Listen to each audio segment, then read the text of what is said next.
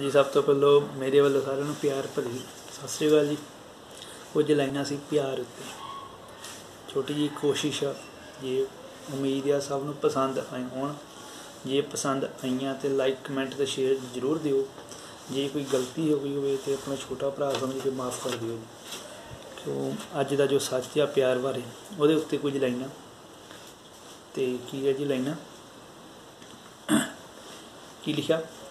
ਦਾ ਇਸ਼ਕ ਦੀ ਕੀ ਦੱਸਾਂ ਤੁਹਾਨੂੰ ਮੈਂ ਦਾਸਤਾਂ।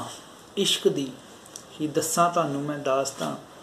ਹਰ ਪਾਸੇ ਹੀ ਠੋਕਰਾਂ, ਕੋਈ ਨਹੀਂ ਆਸਾਨ ਰਾਸਤਾ। ਪਿਆਰ ਦਿਲ ਦਾ ਖੇਡ ਅੱਜ ਕੱਲ ਖੇਡ ਦੁਨੀਆ ਤੁਰ ਹੀ ਜਾਂਦੀ ਏ। ਪਿਆਰ ਦਿਲ ਦਾ ਖੇਡ ਅੱਜ ਕੱਲ ਖੇਡ ਦੁਨੀਆ ਤੁਰ ਹੀ ਜਾਂਦੀ ਏ। ਕਿਸੇ ਦੀ ਇੱਜ਼ਤ ਪੈਰਾਂ ਦੇ ਵਿੱਚ ਰੁਲ ਹੀ ਜਾਂਦੀ ਏ।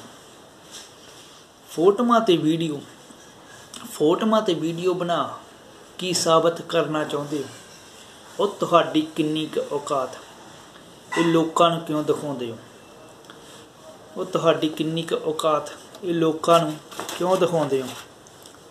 ਓਏ, ਉਹ ਵੀ ਕਿਸੇ ਦੀ ਧੀ, ਕਿਸੇ ਦੀ ਭੈਣ ਹੋਏਗੀ। ਉਹ ਵੀ ਕਿਸੇ ਦੀ ਧੀ, ਕਿਸੇ ਦੀ ਭੈਣ ਹੋਏਗੀ, ਜਿਸ ਦੀ ਬਣਾ ਵੀਡੀਓ ਤੁਸੀਂ ਨੈਟ ਉੱਤੇ ਪਾਉਂਦੇ ਹੋ।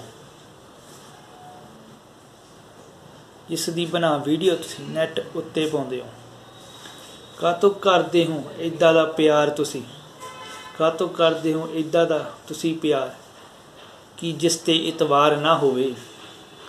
ਹਣੀ ਜਮਸ਼ੇਰੀਆ ਪਿਆਰ ਰੂਹਾਂ ਨਾਲ ਹੁੰਦਾ, ਜਿਸਮਾਂ ਨਾਲ ਪਿਆਰ ਨਾ ਹੋਵੇ, ਜਿਸਮਾਂ ਨਾਲ ਪਿਆਰ ਨਾ ਹੋਵੇ। ਜੇ ਪਸੰਦ ਆਈਆਂ ਤੇ ਲਾਈਕ ਕਮੈਂਟ ਤੇ ਸ਼ੇਅਰ ਜ਼ਰੂਰ ਦਿਓ ਜੀ। ਸੋ, ਸਭ ਦਾ ਧੰਨਵਾਦ, ਹੱਥ ਜੋੜ ਜੇ ਕਿਸੇ ਨੂੰ ਕੋਈ ਗੁੱਸਾ, ਗਿਲਾ ਕੁਝ ਹੋਵੇ ਬੋਲੇ ਮੈਂ ਦਿਲੋਂ ਮਾਫੀ ਚਾਹੁੰਦਾ ਜੀ।